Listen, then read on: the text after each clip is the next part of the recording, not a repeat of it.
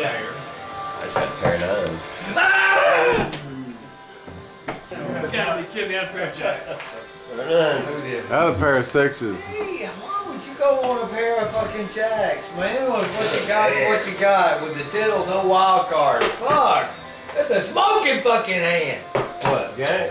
Well, any pair, uh, especially above a nine Yep. or eight, that's kind of the bubble. I right thought there. the tittle would get somebody trips.